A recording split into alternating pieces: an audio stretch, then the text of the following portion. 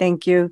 Welcome, everyone, and thank you for joining the session How to Captivate and Persuade Your Audience Tools and Techniques by Nathan Gold. My name is Izumi Yamamoto, Area D1 Director. This is one of the sessions from District 101 program called Great Events. It will offer many learning opportunities throughout the year, so please check out the official website on District 101 time to time. With that, let me introduce the Toastmaster of the day, Satish Shenoy. He has been Toastmaster since 2012, and as everybody knows, he's a DTM. Please welcome Satish. Thank you. Thank you, Izumi. I am delighted to be here to uh, as a host for really hosting a special speaker as a great friend, Nathan Gold. I've known Nathan for a few years. He's based in our Bay Area. He's from here. And he travels the world coaching people on how to prepare for high stakes speaking opportunities and how to harness the anxiety that you feel when you when you're speaking you know early in your speaking career he does this through countless keynotes he's he's actually helped a lot of my colleagues at work uh, this is one way i i found out about nathan. And um, you know ever since then i've been attracted to all of his great work. He's an uh, he's an amazing speaker. He actually coaches people both uh, online and in person. He helped innumerable number of uh, salespeople throughout his career. He he actually was one of those people early on early on in his career, and then went on to really help those people be successful. In fact, some of the companies that he has worked for, including mine, have uh, really hailed him as one of the reasons why salespeople and uh, even entrepreneurs were successful. Nathan has uh, personally delivered a lot of uh, presentations and countless hours of coaching. He's an amazing coach. I've, I've even had him as a, a coach. The Wall Street Journal called him an elevator pitch expert. And I can tell you from personal experience that he is an amazing uh, elevator pitch coach. He's a he's part of UC Berkeley. He's done some work there. He's also part of uh, Hong Kong ba- Baptist University, a guest lecturer at Wharton Entrepreneurship uh, Institute, and the Founder School. I mean, he we can't go on and on. We we just have much to cover. So I'm going to spare no uh, time more in welcoming Nathan Gold. Over to you, Nathan. Thank you so much, Satish, and Toastmasters around the world that are watching now. I really appreciate the opportunity to speak to all of you right now. So, I recommend that all of you take your screens right now and go into speaker view because I am going to do something a little bit different with you here today. So, uh, to begin with, uh, let me just make sure all the tech on this side is working. Let me be, bring up my slides for you. And uh, this is how we're going to present to you today. So I have some good news for you and maybe some bad news for you. And that is, there's nothing really new here. I'm going to spend less than 40 minutes of your time and not really tell you anything new. But what I am going to do is give you friendly reminders, things that either you've heard of that you're not using or things that you heard of a long time ago and now you realize you can use them today. So once again, I'd just want to take a moment and say thank you so much to the entire Toastmasters organization. Oops, sorry about that. The entire Toastmasters organization for giving me the opportunity to present to presenters.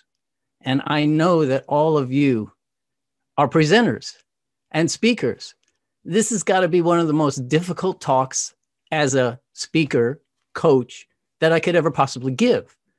And that's why I'm not really going to give you a speech today.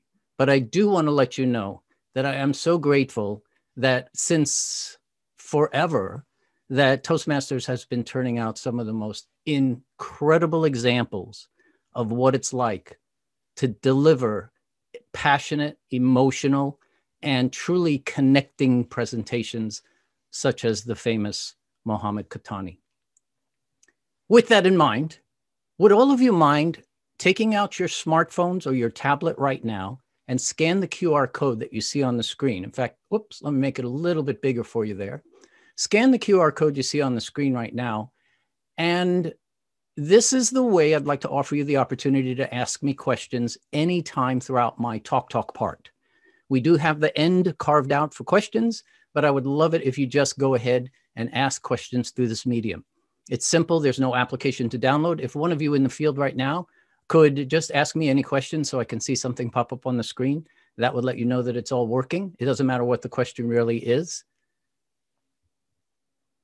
Just to be sure that it's working. You could also go to slido.com and just put in D, D101TI. Okay. All right.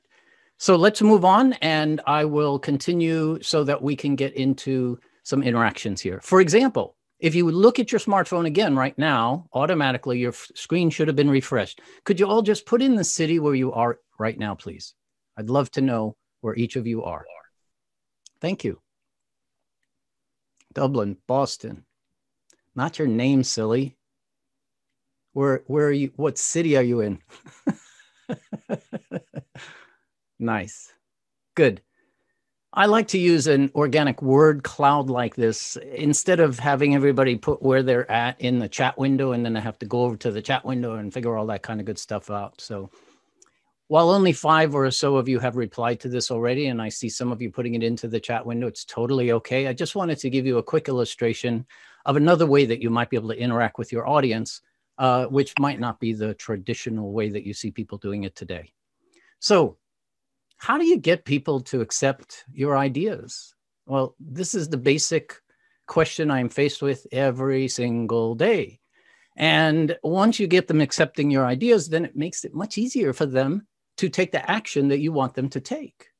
So let's get back to basics because there are three things I want to cover before I get into some real tools. The first is when I was 17 years old, I read this book. My dad handed it to me. He said, Here, read this book. It'll make you a better person. And so I did, because what I learned were the six ways to get people to like you. And I'm going to tell you, they work. If you haven't looked at this, and I'm pretty sure probably 86% of you have already got these memorized, these work. From there, uh, about seven years later, this book came out called Influence. And if you want to learn how to be more persuasive, this to me is the Bible. When I read this book, it changed my entire outlook on what it meant to present, to give training classes, to give demos, to give keynotes, and to help others.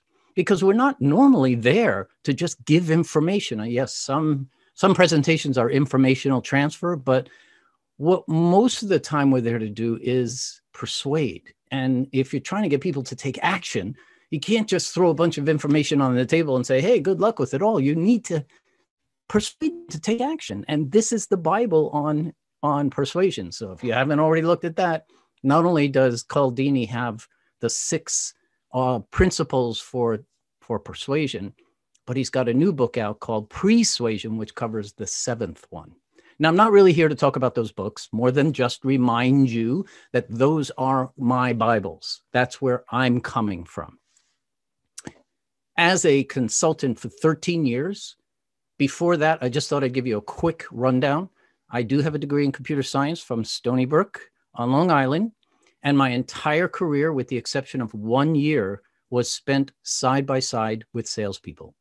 I would travel all over the world and I would be the person that would demo the product or the service that I was working with. And it was all tech companies, all pretty much software, hardware companies that I worked for SanDisk, Extensity, Symbol Technologies. After I got laid off the third time, I was 50 years old and I decided, you know what? That's it. No one is ever going to have that power over me again. And so, what do you do when you don't want to get retired? you start your own business. And that's exactly what I did. I thought, okay, I'm just going to go coach other people on how to be better people at demoing products. So I wrote a book, failed, meaning a year after a year, I couldn't compete with the big people out there already doing it. So a year into it, I met my first entrepreneur, and that changed everything. And now I help entrepreneurs raise money, get really important customer meetings going. And now it's all over the map after 13 years working with corporations and like uh, Satish mentioned a moment ago. But throughout my career, there was a word that drove me crazy, and that was sales, selling. You know, to me, you have to be the right kind of person to be in that role. But we are all, every single one of you on this line, are in the persuasion business.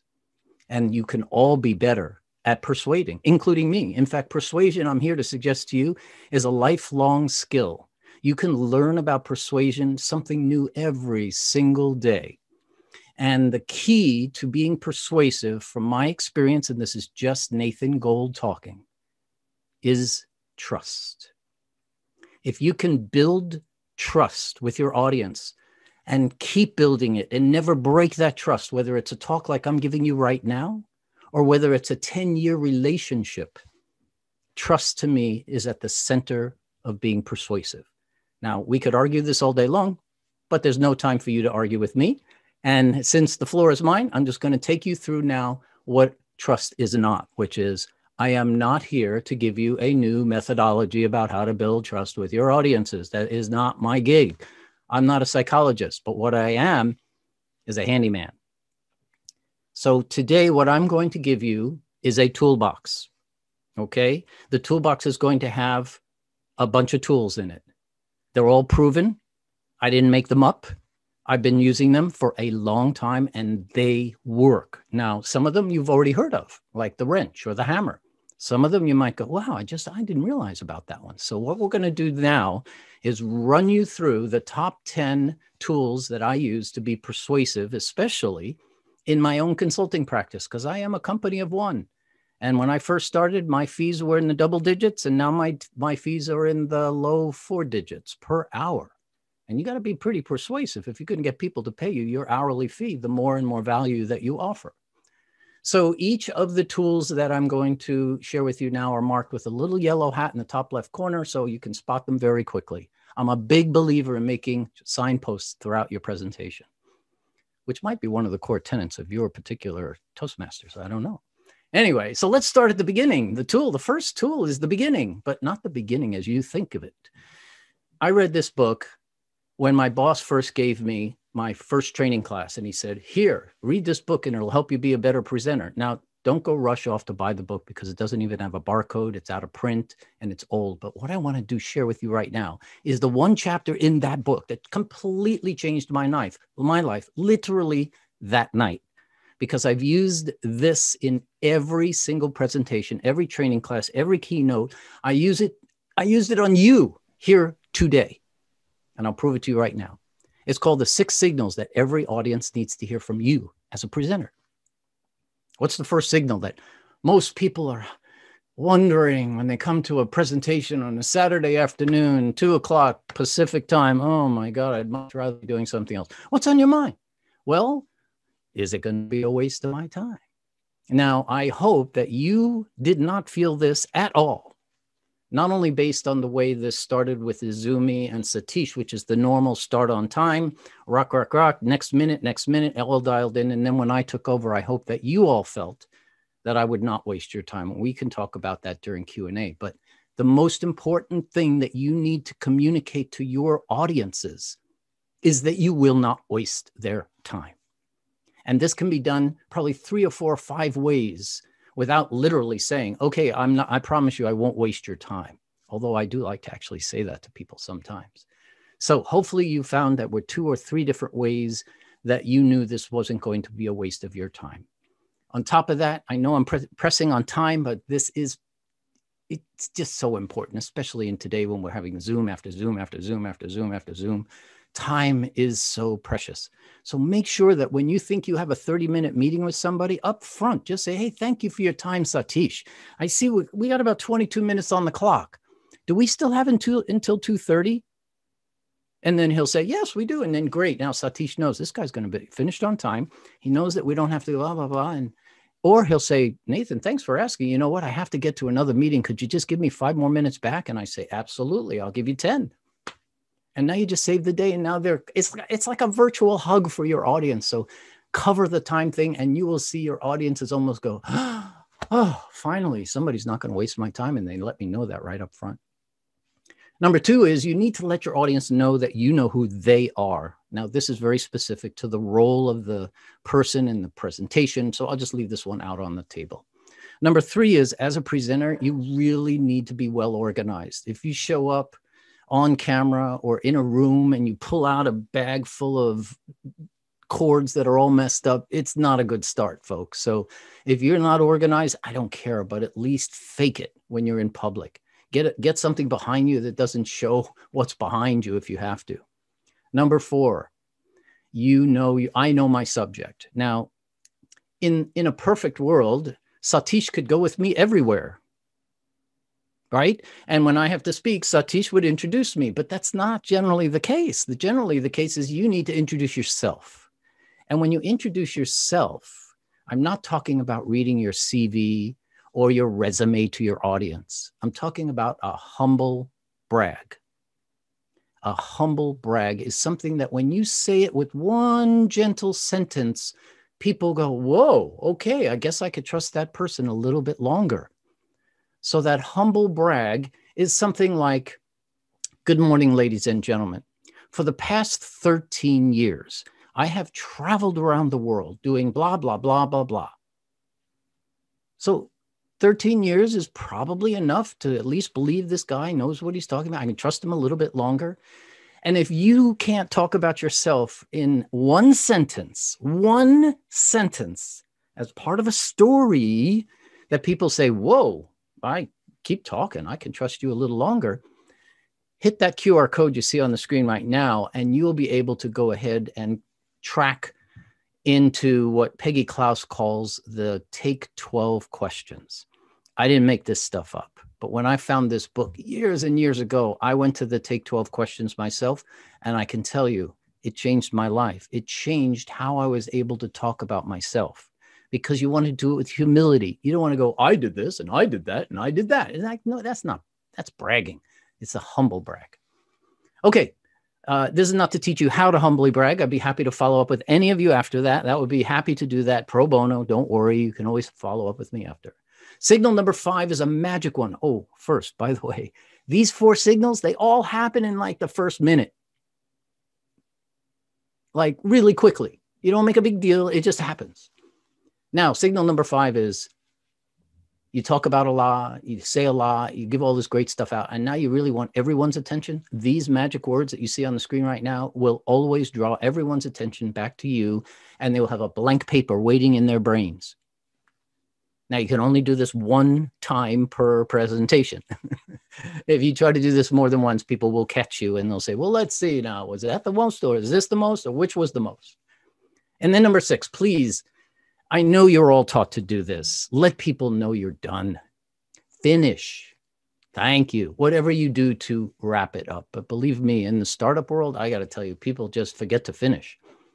Yeah, we're raising a seed round. We'd be happy for you to join us. Oh, oh, we're done, by the way. Uh, you got any questions? it's like, really? You just couldn't say thank you? I'd be delighted to take your questions now. All right. So those are the six signals. I'm moving on, and I know I'm going fast, but this stuff is not that hard, folks.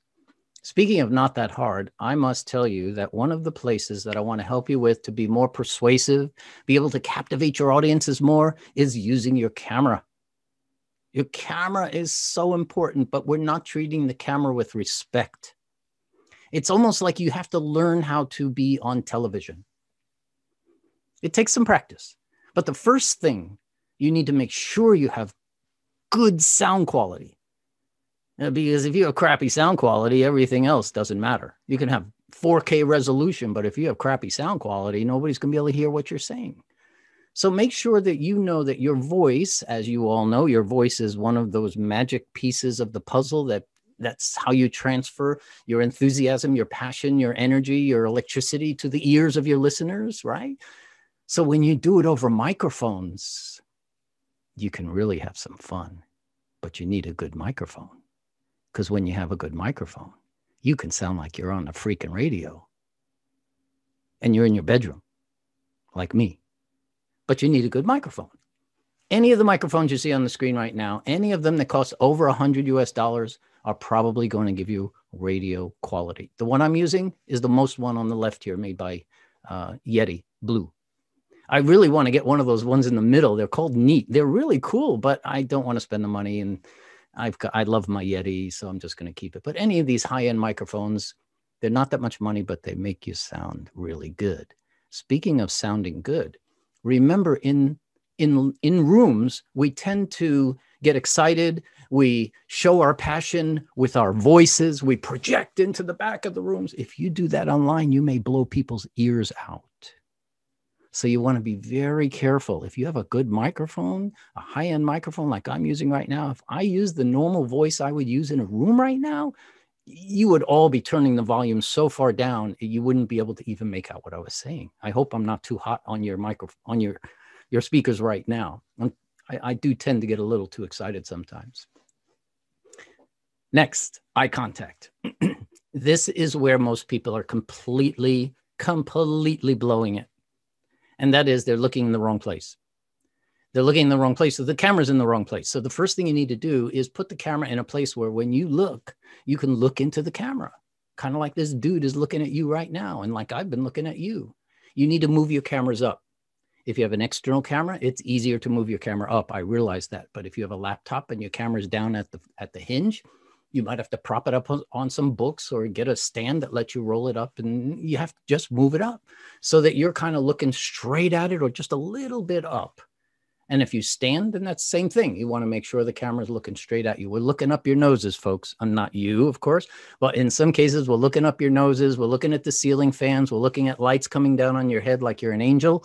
I know you're all angels, but really, we don't need to be looking at your ceilings. So if you have an external camera, you can stick it in front of your screen like you see here which allows you to put your content behind the camera. And then you basically just look straight into the camera lens, like I'm doing with you right now. And you can use your peripheral vision to see what's behind it. Although in my office, I do have two monitors here. I'll show you what it looks like in just a moment.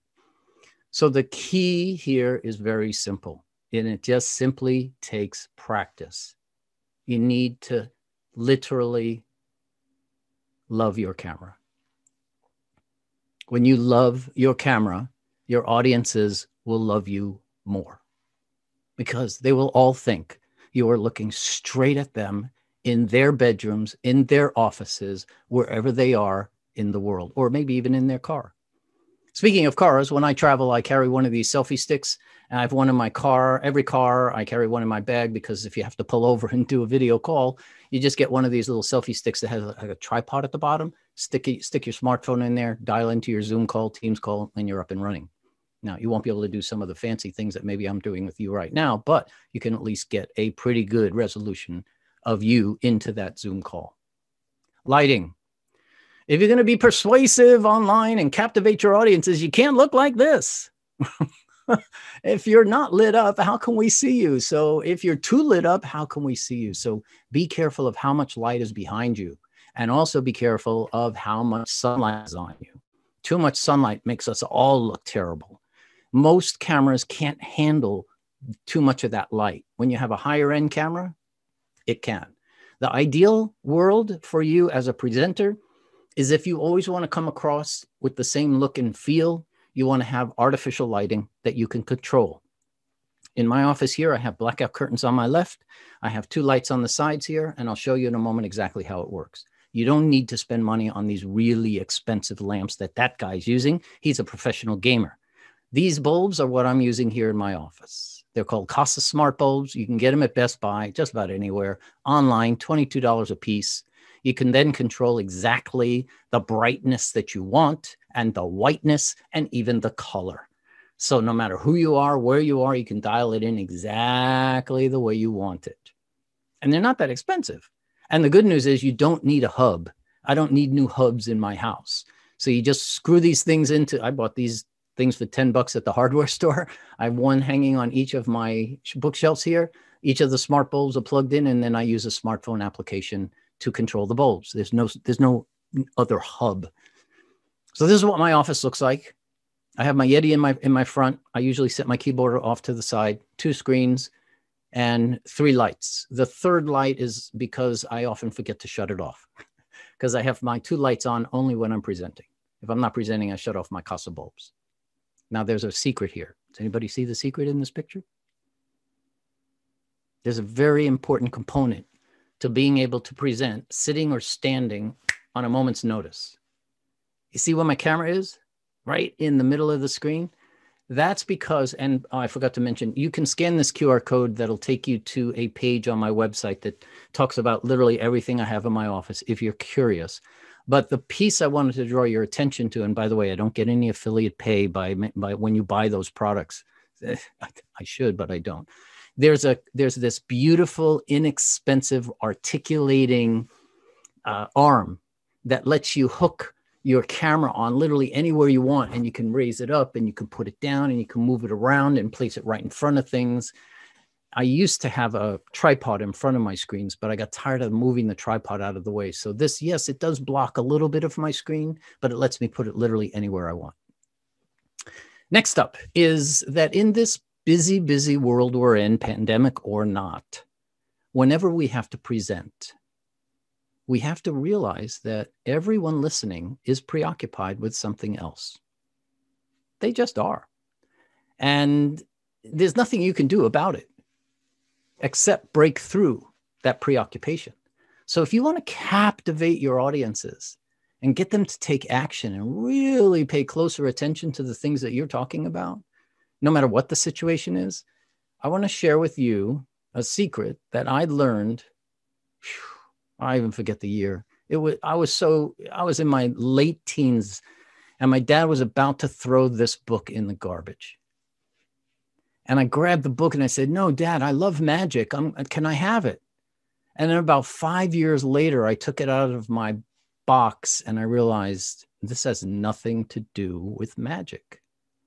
But when I opened it up and I read it, I realized, oh my God, I have just discovered the secret to breaking through the preoccupation that every audience, everyone in the world has pretty much all day, every day. And this author, from his experience in public relations, literally gave me the secret. And so I want to share it with you. And the good news here is you already know.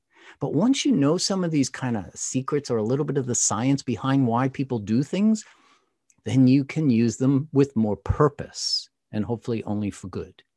So Roy Garn calls it the fatal four emotional appeals.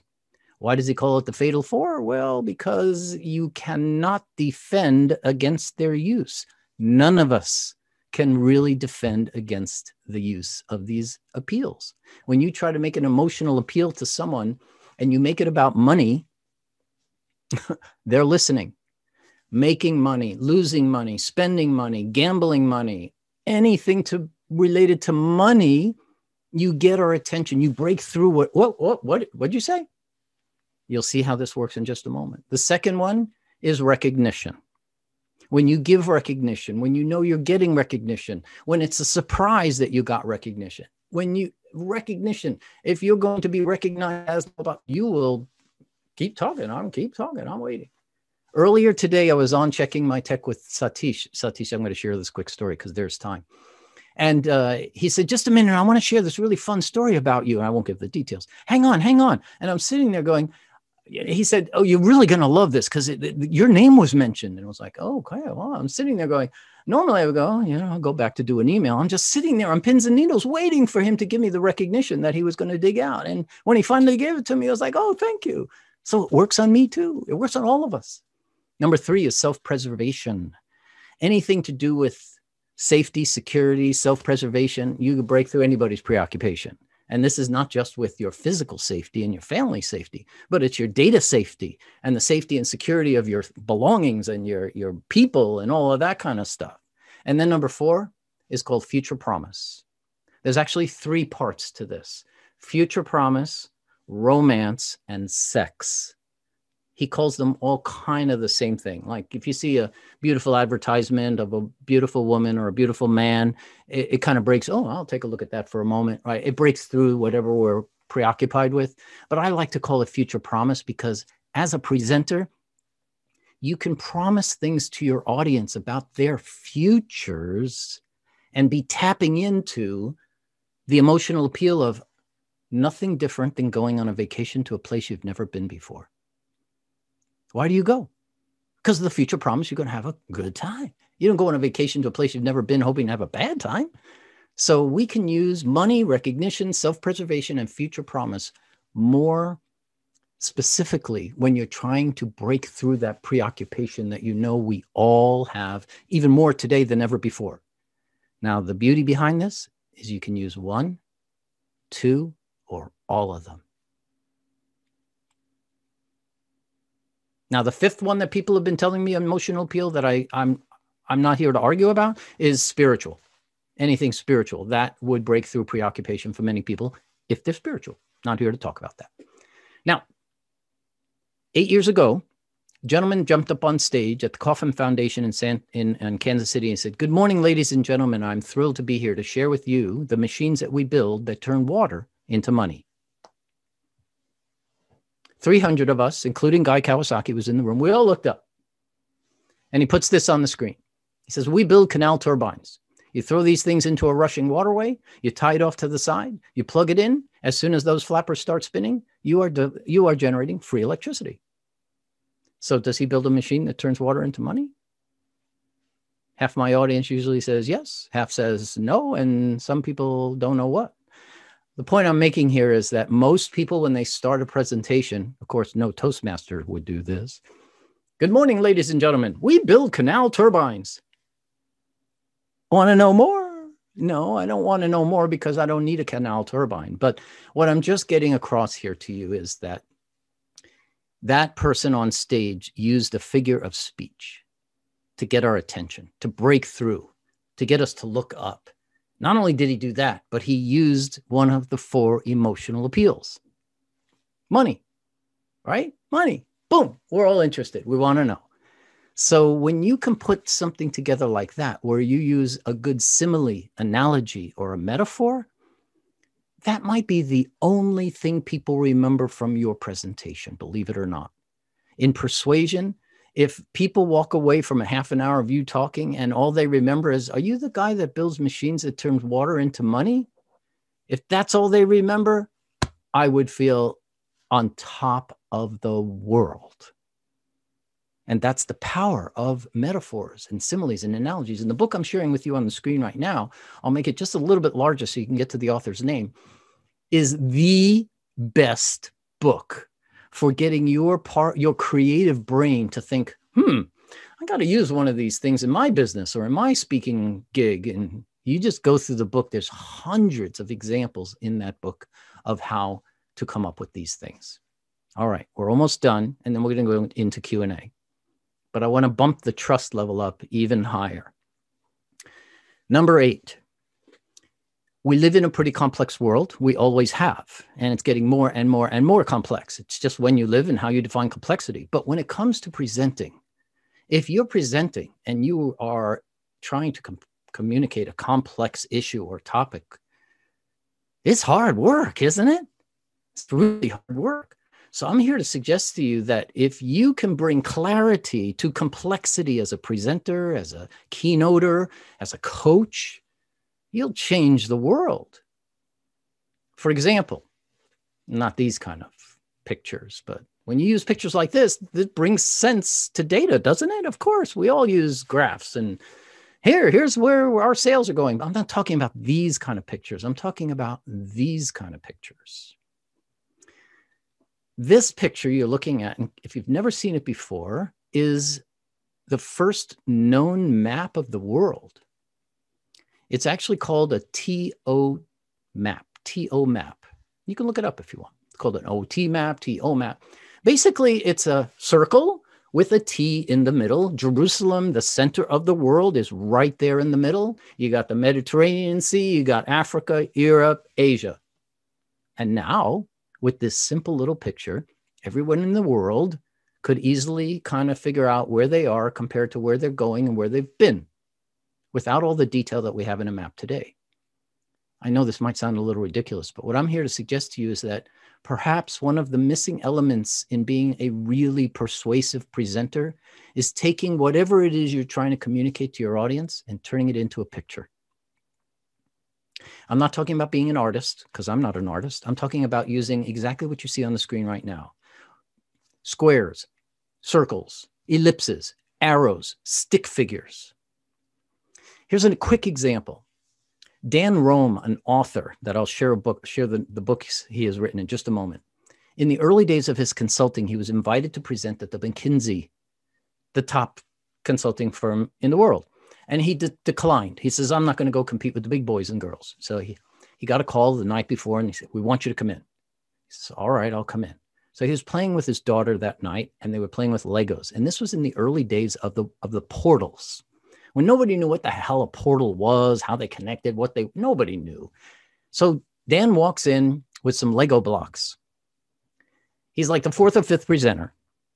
He puts the Lego blocks on the table. He says, There's five portals. And here's how they fit together. Boom, boom, boom, boom, boom. And then when they talk together, and he just talked through it. And about 10 minutes into the talk, they stopped him and they said, You know, you're the first person the very first person who's brought clarity to a very complex subject with something as simple as Lego blocks. So I cannot, I cannot tell you how sometimes something as simple as a stick figure can bring clarity and make you more memorable than the people before you or after you, especially when you're trying to be persuasive. So Dan Roam, check out some of his books. He's amazing. I would be remiss if I didn't talk about Simon Sinek. And all of you probably know Simon Sinek. You've seen his talks. I see you're shaking your heads. Yes, yes, yes, yes. So I'm not here to talk about the golden circle. But what I am here to talk about is that two things about the golden circle. One, if I didn't draw this on the screen or have this on the screen right now, I bet you most of you could draw it, right? Didn't I? Doesn't that prove Dan Roam's point that a simple picture can sometimes bring tremendous clarity to a very complex topic like how to connect with your audience on an emotional level. Start with why. What a concept. So simple. This is not new stuff, folks. This is just a new way of looking at it and say, oh, look at that picture. It makes so much freaking sense. Of course. And that's what you can do with your pictures. So if you need help with Simon Sinek stuff, if you haven't already seen his book called Start with Why, um, um, I would actually suggest skip that book. Just go to the Find Your Why. It's much better. All right, we're at number 10. This is almost my favorite one, but I actually don't know which of which of the 10 are my favorite. Now I know I've already given you nine nine tools. You can't use them all at the same time, obviously. There's no best one. You don't have to use any of them, but hopefully there was at least one so far that you say, oh, maybe I could try doing that. Oh, that was interesting. So what I want to do here is actually give you a separate little toolbox because there's so many little things I want to share with you and I don't have a lot of time to share them. So I've just picked kind of a bunch of a bunch of cool little fun tools. So and it all relates to the big excuse that I hear from most people in the online world. Oh my God, how do you talk to the camera? How do you interact with an audience when you can't see them? Or you got to look over here and say, Hey, Satish, Cynthia, how you doing over there? Doing well? Yeah, look at that beautiful smile. But am I looking at you right now? No, of course not. So let's talk about audience interaction, right? Uh, you get online like this, the minute you get over 15 or 16 people, the audience interaction gets a lot more complex, obviously. All right. So we'll, you know, there's really two games here. There's like the one to a manageable number, and then there's one to the many, like we have right now 24 people. I can't necessarily get you all on the same screen unless I have a big screen. But the point I want to make is we all need to stop making excuses. Right. You can't walk over to somebody and say, How are you doing today? I, I get that. You can't have somebody come into the room early and you walk over and say, Hey, thanks for showing up early. What'd you come here to? What's your goal of this top? Blah, blah, blah. And then, you know, now you have all sorts of, you can do that online too. I want to compliment the Toastmasters organization because when I first went through my talk to verify that I wouldn't insult any of you with the things I was going to share with you, with not one, but three Toastmasters people, I realized most of you already do what I was about to say, which is you put something next to your name in these Zoom windows so that people know who the who the heck you are. I mean, Kim, it's nice to know Kim has a nice first and last name. That first and last name is this, you know, the uh, first name. But I know what George does, don't you? Don't you all know what George does now? So I know that you do this in your Toastmasters meetings for where you are, and then I, I totally respect that. And I think it's a great use of renaming yourself in these windows. Now, polling is something that is built into just about every one of the video products that are out there. So please use the polling if you can. It's not that hard, but the chat window, the chat window can become your friend. If you make everyone publicly and privately able to chat with one another, As a presenter, I might have 35 people on the line, right? And I say, okay, would there be anyone who wants to ask some questions now? What happens? Nobody asks any questions because nobody wants to talk. So I don't do that. I say, could you just go into the chat window and pop your name in there? And I'll just take your names as don't don't put the question, just pop your name in there. That's pretty easy. So Becky puts her name in there. I say, okay, Becky, let's start with you. Boom, Becky comes off of mute. She talks to me. I talk to the world. Everything's fine. Thank you, Becky. Off we go. Next up, Satish. Satish, what's your question? Right. So don't make people type those long things into the chat window. Just put their names in there. When I'm coaching and I have 12 people online and and I don't want to pick them and they and I need volunteers, I say, okay, put your names in the chat window. I'm going to call you on you by the names in the chat window. If you haven't put your name in there, then it's a voluntold. Get in there. Interacting with your audience, as I did earlier with you for questions using Slido, is just one tool. There are others out there. Word clouds, all can be done with things like that.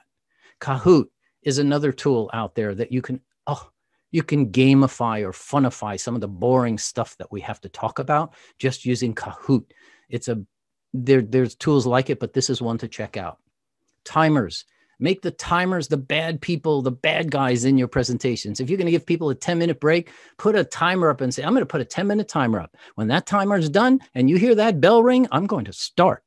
And then you don't have to come back and say, okay, everybody, come on, come on back, everybody, come on back, everybody, come on back. Just make the timer the bad guy, especially for exercises. Almost done. When you share your screens, I don't know if this is really that visible. Let me go a little larger to make it easier for you to see it. When you share screens, make sure you share the screen you want people to see when you're ready to start talking. Don't share your screen and then say, "Oh, wait a minute, I have to go into presentation mode."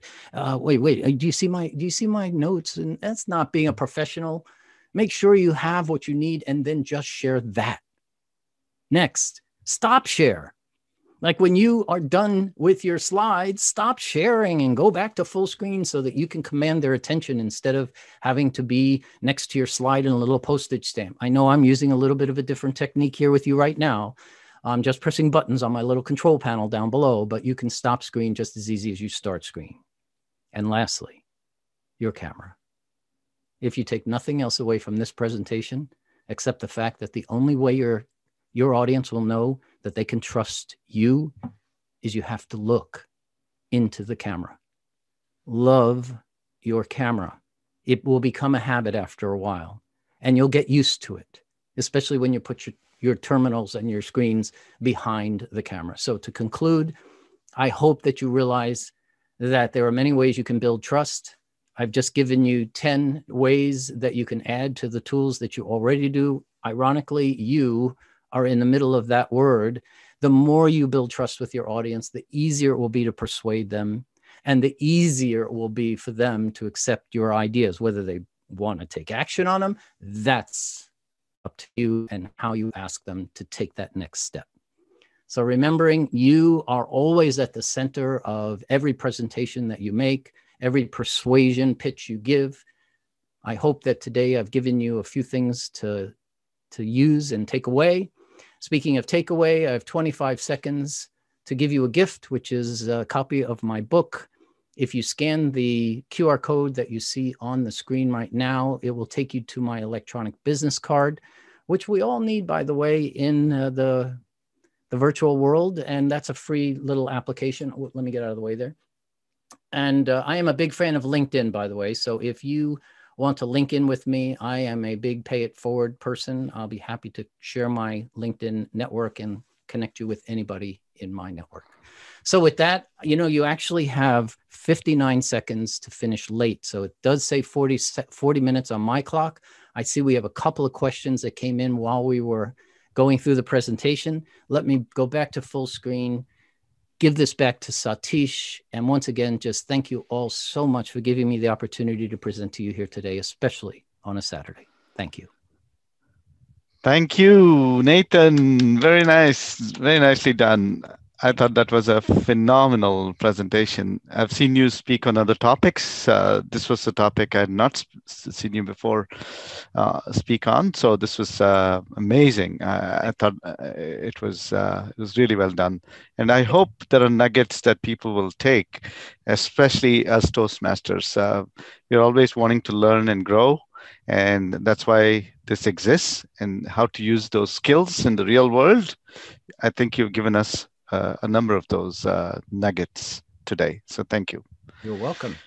You're welcome. So I'd like to encourage people. I, I see some, as you said, I see some questions on uh, in in uh, Slido.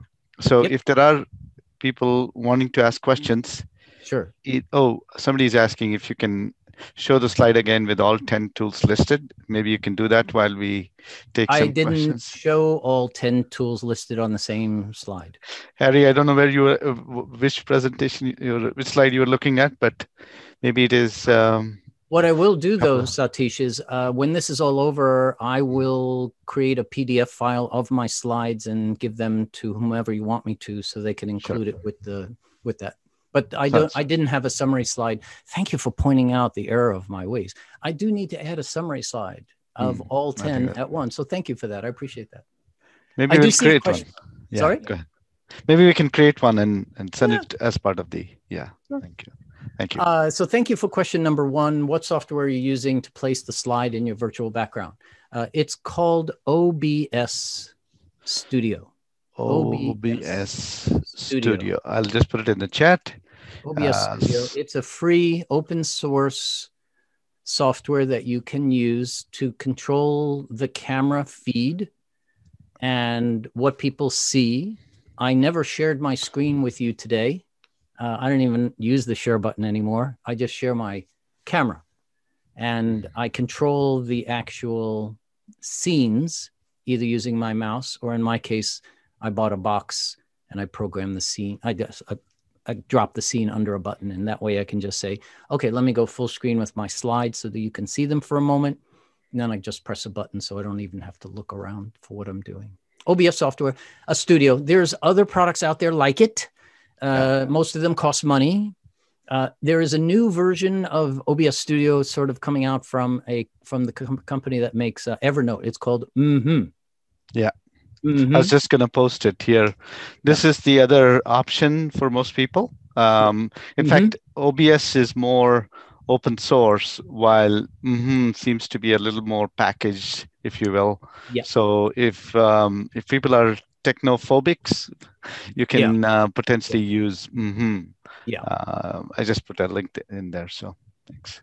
but it sure does make it interesting from the standpoint that no two people think similarly as to how they move themselves around on screen or what backgrounds they use and i am using a green screen behind me and uh, that allows him you know pretty much to do just about anything like when i roll myself around on the screen the only reason i can do that seamlessly is because of the green screen that's behind me uh, okay, something that was common throughout your presentation was you were telling stories.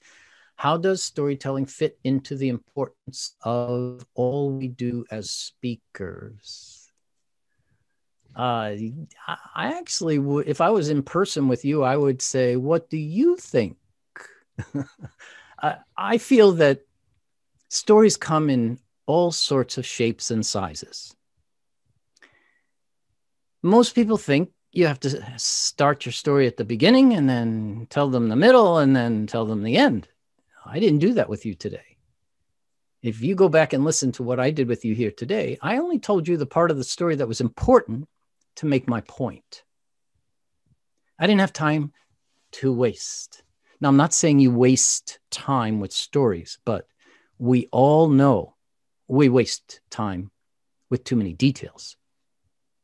I have a sister that tells so many details that have absolutely nothing to do with the story and nothing to do with the point she's trying to make. It's like after 15 minutes, I have to often stop her and say, Hey, could you get back to the point of the story? And she goes, Oh, yeah, of course, of course.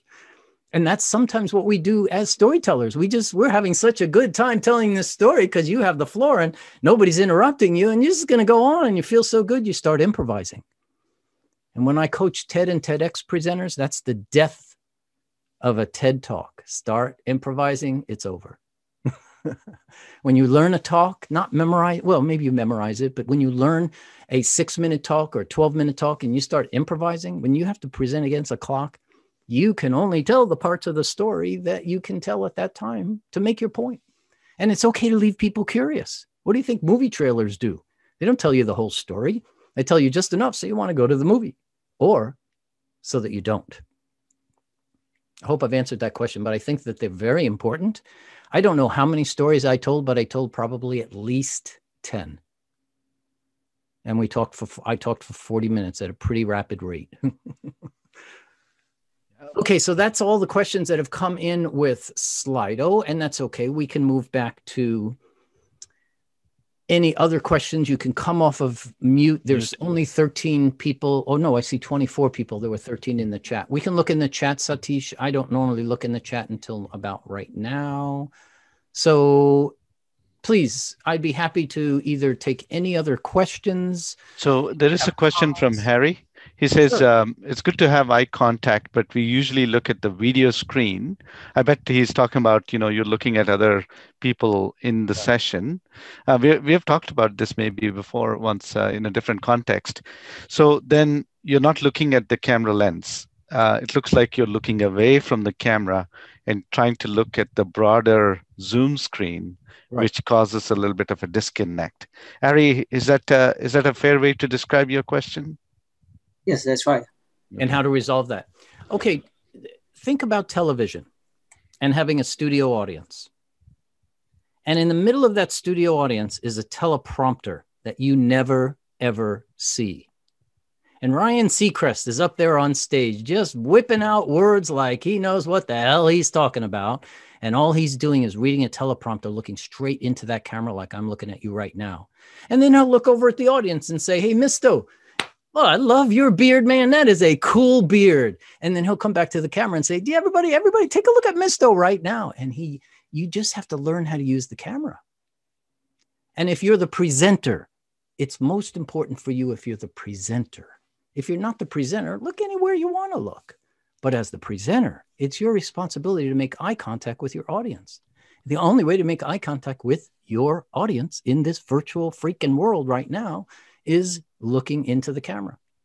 Now, I have seen one software that's coming. I, I forget the name. That's that's got some eye tracking software built in, and it's going to be able to make it look like you're looking into the camera no matter where you look. And I can't wait to see how that looks. But I'm not too, I don't know, I'm not too hopeful. It's it's it's kind of like you got to get your head wrapped around the fact that you're in you're in television land, and your studio audience is on the are on the screen yeah. So Nathan, one one quick point. I, we have two other questions, but uh, one quick point on that. I think we tend to um, want to look at. See, right now, if I look at you, I'm not yeah. looking at my camera, right? Because it's it's right next to it. So right. the peripheral vision, you don't have to actually look at maybe the audience in in in the Zoom setting, but you can quote unquote look still at them using your peripheral vision while you look at the camera. Is that a fair way to put it? Exactly, especially if you take the camera and put the camera sort of in the middle of the screen. Mine hmm. is in the middle of two screens because I, that's how I think. I've got my slides over here, I've got you on my left. So if I need to quickly look over and see, are you shaking your head? Yes. If I hmm. need to see your background, I can see you have a bridge in your background. But I do kind of need to go quickly, like, okay, you have a bridge in your background but then I forget you're over there. And yes, I do miss your facial expressions. But when you're in a one on one or one on two or one on three, it's mm-hmm. one on four even, it's kind of easier because you just you put everybody's heads behind the camera. Yeah. All right. You just make it small enough, stick everybody behind your camera on the screen. That's if you're doing one on ones, it's easy. I just, like Becky, you just happen to be lucky. You're in the top right corner of my screen right now. Does it look like I'm looking directly at you right now? And and and I'm I'm looking into my camera. Now I'm looking directly at you. Does it still look like I'm looking in the camera? A little bit, maybe, not as much. But I can glance over at her. I can see she's trying to talk, and I can say, "Hey, you're on mute." Whereas if I have to come over to Zoomy, I have to come over here because she's way on the left.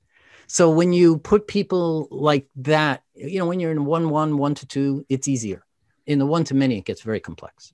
Maybe to summarize, put uh, the camera in the middle of your screen so you have the ability to change your focus what That's you're focusing on i see Yeah, makes then sense. your eyes don't move too much. You're not Yeah. moving all over the place.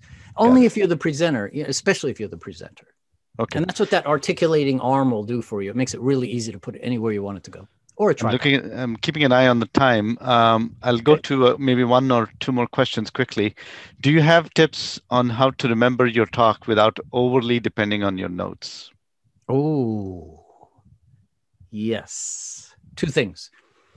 Record the audio of you doing your presentation just to your smartphone, audio, just audio, as if you were on the radio, like really act it out, just like you would if you were on the radio or if you were on stage. And then listen to it as often as you can. If you don't like the way it sounds, just re record it and then just use that as the model. The other is, uh, I just lost my train of thought. What was your question again? It was uh, how, how do you do do your talk without having Oh. necessarily notes? Wait, that's what.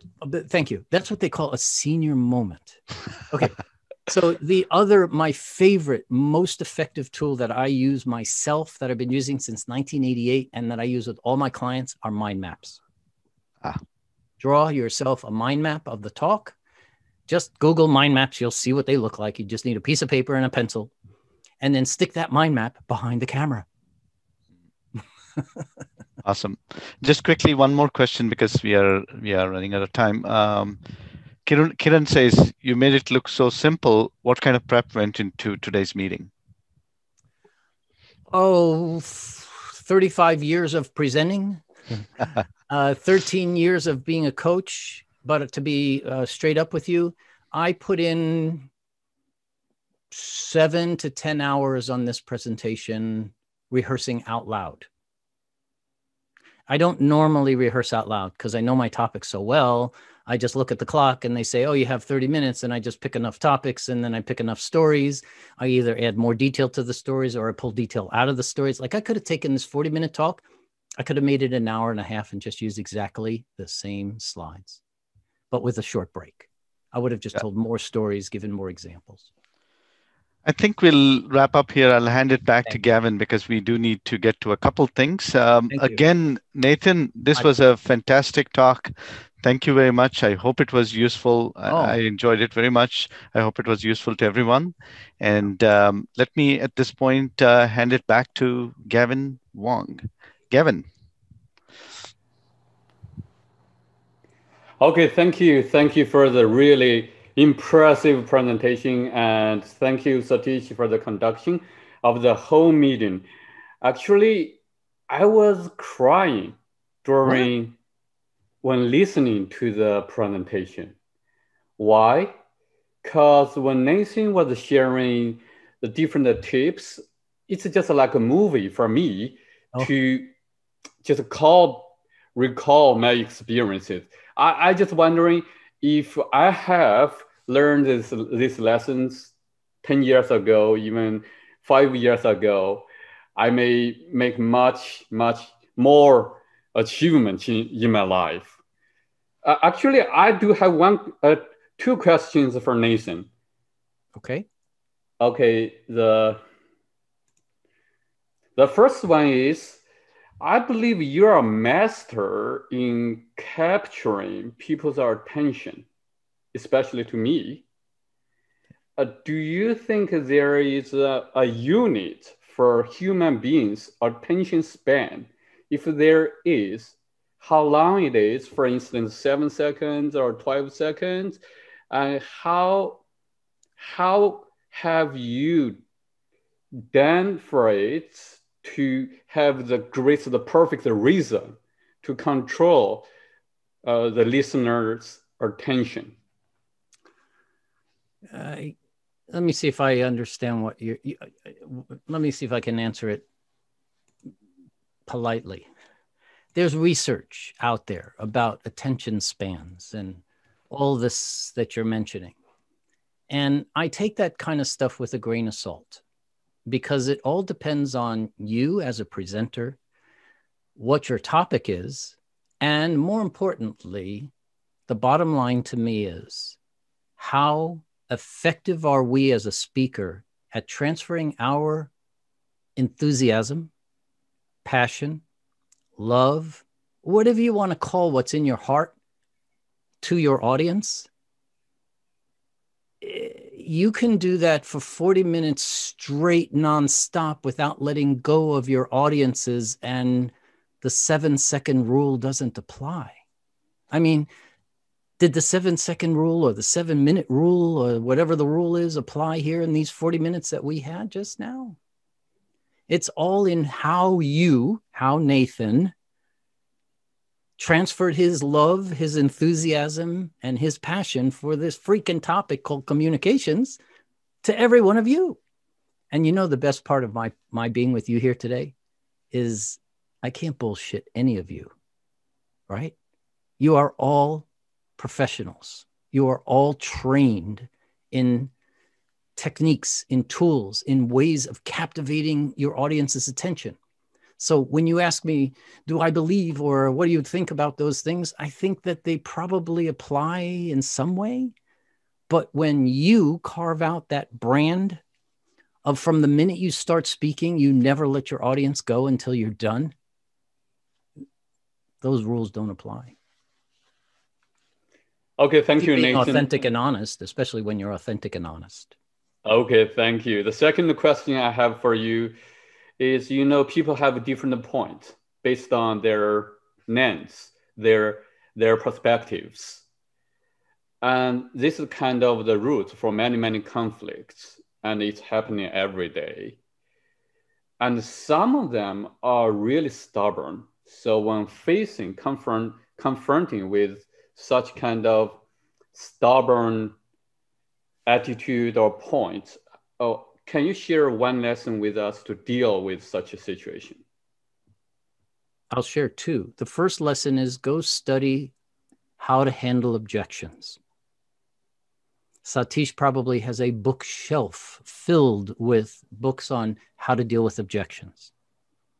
The other is the, the secret that I use all of the time when somebody is being a little confrontational with me. And look, I talk about a topic like this and I run in, you know, all the time. So when I run into people that are experts at presentations or they've done seven TED Talks and they walk up to me and, you know, they try to be a little confrontational, I turn on the love. I just turn it on. I let them talk. I ask them questions. I let them pontificate. They just want love you know we all have if, you're if you're comfortable in your own skin i would just get them talking. My secret in dispelling or dis, what's the word? Dispersing a confrontational is i'll say you know tell me more about that. I'm, I'm really curious. No i really want to understand what you mean by that. And get them talking more and more and more. Eventually they run out of words. Uh, sometimes that happens in, in a real room with 20 50 or 100 people. Somebody becomes a little confrontational. I just let them talk Tell me more about that. Eventually, they will run out and they'll calm down. People just like to be heard sometimes. So it's all about objections. You're asking for me to answer with one answer, and that's a very complicated question. Normally, if somebody's confrontational, I'll just ask them, "What's going on? What, what's what's going on here?" But I don't often run into confrontational situations. okay, okay, thank you. The following up question is you're uh, you're talking about asking questions. Mm. So sometimes we are in a really tough situation, and how to do you have approach to guide us to ask the right, the befitting question in a really tough question, uh, in a really tough situation? How to ask the right question? With as much love and kindness and empathy in your voice that you can. Voice. It's all in the voice.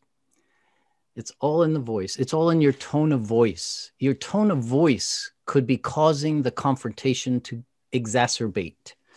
And if all you did was perhaps change your tone of voice a little bit, it would it would potentially make that confrontational situation better. For example, when you ask somebody why, that can be a confrontational why. You say, Well, I'm not feeling good today. Why? I'm not feeling good today. Why? Why is that? You know, it's all in your voice, folks. You know that. When somebody's being confrontational to you, you need to figure out what the best way is to to calm them down if that's what you need to do. If they need to yell it out for a little bit, you just egg them on until they're all done, and when they run out of steam, then they're they're they're fine. Sounds like you're getting into quite a bit of uh, persuasion and sales. I'd get I'd get Cialdini's book on influence, and there are things in there that you can use as well. Okay, thank you. Another question is, uh, I was partially crying during the whole presentation. There's a reason. The reason is I have noticed you are extremely present. And I think you're very lucky because you're passionate about what you're doing. Mm-hmm. And how how to be extremely present? Do you have a kind of panacea way for us to, to be a present? Yes, it takes practice. You can't just turn it on if you don't know what it feels like to be present. So if you're even questioning the pre- the fact of am I present or not means you're probably not yet all present. So, putting yourself in situations where you can practice the art of communication is how you learn to be more present, especially with these cameras that we're all faced with today. The more you do it, the more you record yourself, the more you watch yourself. It's like any other skill that you're learning in Toastmasters or in a sport. You definitely need to practice this stuff and be open to learning more, be open to failing you know be open to somebody saying nathan it just you don't seem right today and you say well you know what you're right i'm i'm not myself today. For some reason i just feel off. Not that i did today. The other thing gavin i appreciate that question because we all experience imposter syndrome where we don't quite really believe our own bs but we hope other people do until we can get paid enough. And then once enough people pay us then we can oh kind of okay, I guess uh, the value I'm providing is there. I went through that for about two years at the beginning of my consulting practice that I'm still in now, 13 years later. And the way I handled that, the way I got to my core and the way I got to my clients was I dropped my fee to zero. But I told them my fee per hour is X dollars per hour but I'm new at this. I'm still working on this. So your fee is zero, but I need to be able to tell the story of us working together to my future clients. And I need you to be able to answer a phone call occasionally if I need you. Are you willing? But just to do it for free is total BS, folks. Don't give your stuff away. And now at least they know there's some value there. And now you prove your value to the point where you say, okay, got a new client's calling up today. I'm going to charge them some money see what they do. And then you offer a 100% money back guarantee. There are very few consultants like me on the planet that will say, as part of your opening three sentences, uh, this is what I do, this is how I do it, this is how I charge. And oh, by the way, at any point in our engagement, if you are not totally 100% happy with what you're getting from me, you will either get back all the money you have spent already or you will not get an invoice. And I can tell you that 90% of my business gets closed because I use that line. And in 13 years, I've never had to give the money back. Congratulations. Thank you for sharing. And the last question here is about uh, storytelling. Uh, this is especially important for Toastmasters because Toastmasters, the lessons from Toastmasters, heavily stressed on this point. But sometimes, personally, I notice that a story sometimes give me a feeling of phony information. Uh, so the question here is how to leverage stories, or should we use stories, or how to use it? It depends on the goal of your communication if you are trying to persuade someone stories generally engage us, right? Because the brain's wired for stories. So it's the number one tool on the planet to engage an audience is just start telling a story. That's why so many of the TED speakers captivate our attention right away because they stand up and they look around the audience and they say, 17 years ago when I was growing up. And boom, we're all attached to the story because it's a story, and that's just how the brain works. But you need to ask yourself what's the goal of the communication? In my world, a lot of the goal of the communication is to get another meeting. So I'll use that as an example. You got a half an hour, you talk on blah, blah, blah, blah, blah. If you get the meeting for the, if you know you have the next meeting at 18 minutes into the hour, you end the call. Say, hey, listen, I think we have our marching orders for the next meeting. I'll give you back a few minutes. Thank you so much for your time. And you hang up. Why? Because you could sell yourself right out of whatever you just sold yourself into or sell them out of, unpersuade them of whatever you just persuaded them for. So typically, we're trying to persuade people to give us more time. So once you have more time, you've reached your goal. What part of the story do you have to tell in order to get more time? What part of how much story do you need to tell to get somebody to say yes or no, or let me think about that? So if you look at Disney, for example, there's what seven basic storylines that you can create movies around, or whatever that number is. And people go study those really hard. And then they say, hmm, I'm going to tell a story at a keynote. Let me pick the hero's journey. Okay, the hero's journey. And then you use a proven story method that Disney has proven with so many of their movies.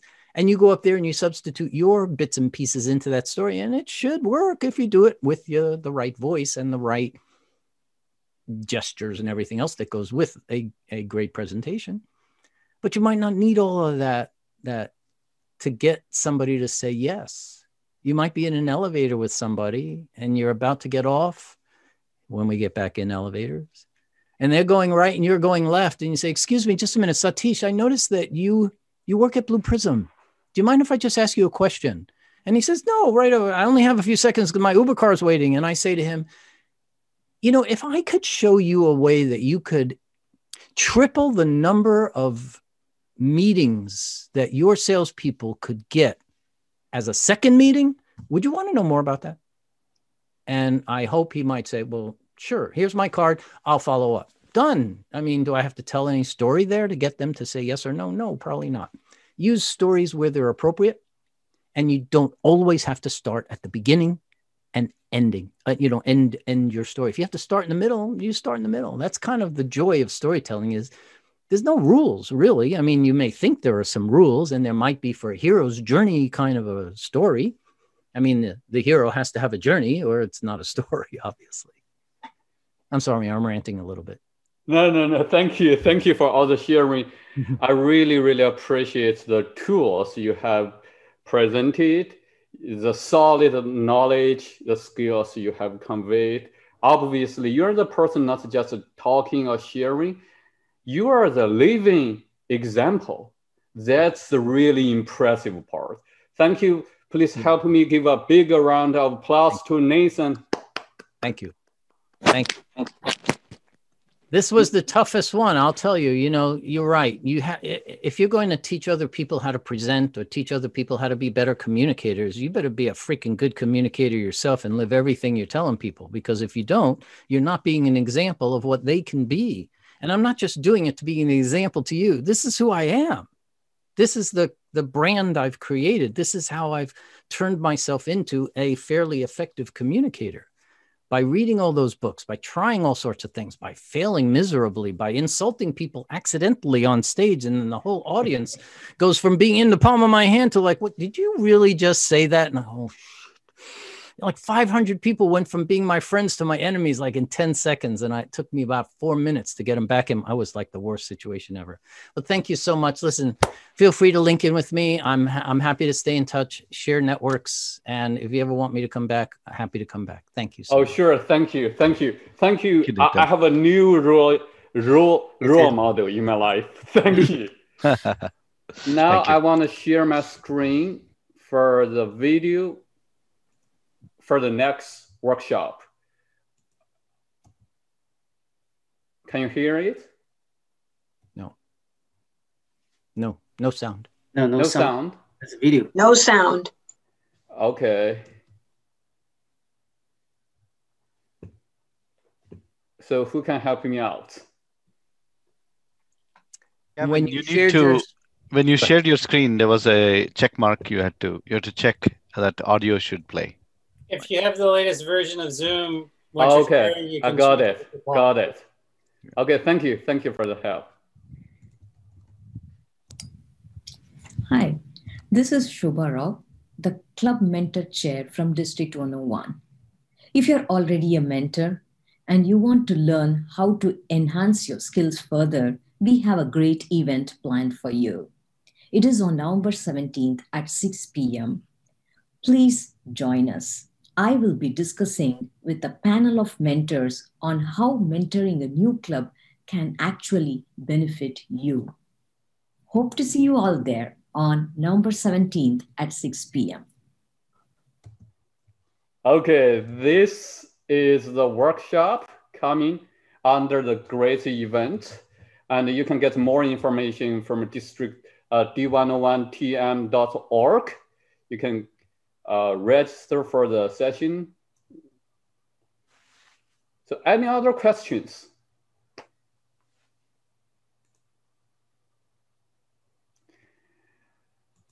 Bob, uh, I believe you have a lot of insights.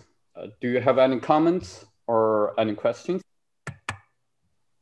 Oh, not this time, no questions, but uh, just thank Nathan for sharing some great information. Uh, as you said it in the beginning, and necessarily wasn't all new, but there were a few interesting angles that you presented the materials in, which gave me some great ideas. So I appreciate that. Thank you. Which one sticks out most for you, Bob? I'm just curious. Uh, let's see, go back to my notes here. Um, I, I, I like the, um, um, where is it here? Sorry. That's okay. I just closed that window. So, um, just I'm the, always curious because I, I give so many tools out. I'm always curious what sticks out. yeah, the, the emotional appeals, right? So just Ah. list of the four emotional appeals. I mean, you're right. That's something sometimes we do it inherently or just intuitively, but to have it uh, specified out in a framework like that kind of puts some things in perspective for me. So I appreciate that. Here's the book. I still have it. It's falling apart. I just can't. I, I just can't let it go. I still have it. It's like a treasure. That's awesome. I also mentioned in the comments too, you know, you mentioned Dale Carnegie's book, and uh, my father gave me the book when I was young too. So I totally relate to what you It were probably saying. looks like this, right? No, it's an old, old Oh, copy. It's the okay. old black and yellow one. I think it was like the first or second edition. Yeah. Okay. Just make sure everybody knows, especially the women that are on the line and watching, do not buy the original book. Make sure you get the one that's been updated for the digital age because It's it's, a little really insulting. Men, cigars, get me a cigarette, you know. Kind of. okay. Okay, thank you. So Cynthia, All right. do you have any comment? No, just really enjoyed all the information that you provided, and especially was helpful because we are on Zoom right now. So the, the the difference in the way we have to present is is definitely something to uh, that is a learning process for many of us. Yes, it is. Written down and done screenshots of everything that you provided. Thank you. You're welcome. My pleasure. My pleasure. Okay, awesome. So Harry, do you have any comment? Uh, no, no. Uh, I just totally enjoy it. I, I didn't read any of this book before, so this is all new to me. Thank you very Oh, much. good. Oh, excellent. You know, that's the thing is, you know, when I point some of that stuff out, that, you know, this Dale Carnegie book was written in October of 1936. Uh, human nature hasn't changed that much. I think this uh, Roy Garn book was written in the in the 50s. So, you know, again, human nature hasn't changed. So you just get to leverage it. Thank you. Okay, Miss though, any comments? Yes, Miss though, you're muted. Okay, we may get back to you later. So Candy, uh, is there a place that you, you feel really helpful or uh, do you have any comment? I do. Uh, thanks yes. for coming out. I do have a question for Nathan. Um, I appreciated uh, definitely the tools that you presented, 10 tools. And I have a quick question. I do work in sales, inside sales. And, uh, or I lost that job actually two weeks ago, but I'm looking for the next role very similar to it. And much of that job is trying to capture someone's attention in, like we say, the first 30 seconds or seven seconds, whatever that window is. Just wanted to know if uh, those 10 tools in theory could they work in condensing all of those into that that short time frame that you have to capture the person's attention and um, you know so that they don't uh, say no thank you and hang up? In theory would all those 10 work as well in the same way rather than over a long presentation? Absolutely. I mean you, you can't get them all in in 30 seconds but starting with the beginning of the time First of all, let me back up and say, you know, it depends if it's a cold call or a warm call, right? If it's a oh, cold both, call, yeah. cold calls have to go maybe a little bit differently because people don't really like telemarketers in the first yeah. place, yeah. or anybody calling and saying, "Hey, do you have five minutes? I could sell you something," which is uh, so. If it's a warm introduction, I would handle it differently. But in general, yes, the time is always the most important thing, which is the first thing in the six signals. And then all those other tools that we talked about the emotional appeal, the recognition, the money. I would go think about how could you come up with a question or two or an opening line or two using one or more of those fatal four emotional appeals to get that person listening or an email that you write to them to mm-hmm. say yes i'll meet with you for five minutes or ten minutes I would do that. Um, okay, great. Sounds like I've uh, been along the right lines then. Yeah. Oh yeah. Tailor it a little bit more. Good luck finding a new job. Yeah. Thank you so much. okay, Anissa, uh, I've noticed you're here. Any comments or yeah, any suggestions? Yeah, Nathan, I really enjoyed the talk. talk. There's so many helpful things. There are some books that I've already read, but there are some that was really good that I want to check back, especially the one on bragging without tooting your horn. Uh, for me, the biggest challenge I've had is to be able to present myself as here is me without feeling very shy or not, even though I have my list of accomplishments, it's just not being able to say that because I feel like that's a wrong thing to do, especially coming from the culture I'm from. So I would like you to suggest some ways we could do that as part of your speech without uh, without actually feeling that shyness or without yeah. feeling that I'm not being humble, you know? The answer comes from going through two or three of the questions in the Take 12 from Peggy Klaus, believe okay. it or not. You can just look at, you don't have to buy the book, just go online, go to that page on my site. You just, as soon as you get some of that stuff out of your head and off of that resume or a CV, and you set aside some of your cultural differences in how you talk about yourself. Biggest example there is when you have a PhD in Norway, nobody really cares in Norway because everybody gets a PhD. That's how they, they go to school. It's all free pretty much all the way through PhD. They just go all the way like career students. But when a Norwegian comes to Silicon Valley and stands up and says, Good morning, ladies and gentlemen, when I finished my PhD 10 years ago, we found blah, blah, blah, blah, blah, blah, blah. I love that. I could say when I finished PhD 15 years ago. That's the humble brag, my my friend. That's it. It's not a long blah blah blah blah blah. I did it. It's like none of those sentences really need to start with I. It's a story. Good morning. Back 15 years ago, I can remember standing in front of my PI defending my PhD. And the thing that I remember most here 15 years later is boom. And now you have all of our freaking attention. You're telling a story and you established your credibility with a humble brag. How about wow. that? See, now you don't have to go buy the book. You just did it. The, the funny oh, thing about through this for sure. oh, you gonna say, Satish? No, I was gonna say Anita is uh, part of the club that I'm part of. Oh. And um, what is interesting is um, there's so much about so many achievements that Anita has. Ah. For about um, eight or nine months after I joined the club, I had no idea that she had she had so many accomplishments behind her. So I think if anybody can, can, can I mean Anita, if I if you don't mind, I'm going to say this. You you need to do this more, right?